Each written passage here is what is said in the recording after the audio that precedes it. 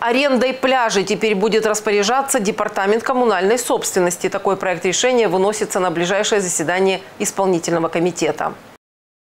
Возможно, Департамент коммунальной собственности города в скором времени будет ведать и передачей в аренду одесских пляжей. Об этом сообщает издание «Смотри». Как пишет СМИ, Департамент коммунальной собственности получил новые полномочия и усиливает влияние муниципалитете. Теперь он будет заниматься вопросами передачи в аренду пляжей. Такой проект решения выносится на заседание исполкома Горсовета. Так, согласно документу, предлагается передать в управление Департамента коммунальной собственности Одесского городского совета искусственных пляжей Одессы. Таким образом, в руках Департамента коммунальной собственности Алексея Спектора сосредоточится сразу несколько управлений управления землей, коммунальной собственностью и уже побережьем. Ранее им ведало Управление инженерной защиты побережья. Как предполагает СМИ, скорее всего, с этого дня будет дан старт комплексной приватизации в мэрии прибрежной зоны. Смотри напоминает, что Алексей Спектр является ставленником и менеджером от бизнес-партнера мэра Труханова Владимира Галантерника. Стоит также отметить, что Алексей Спектр не единожды подозревался в коррупционных действиях. Как сообщал в 2017 году Антикор со ссылкой на собственный источник, взяв под свой личный контроль весь земельный кадастр, Алексей Спектр приступил к созданию в Одессе собственной группировки. И именно с этим были связаны обыски, которые проводились в мэрии сотрудниками службы безопасности и Генеральной прокуратуры. Впрочем, ни обыски, ни многочисленные подозрения, в том числе по делу Краяна, как известно, НАБУ считает данного чиновника одним из участников коррупционной сделки, не помешало нашему городскому руководству сделать главного по коммунальной собственности не только еще и главным по земле, но и по всей лакомой пляжной территории.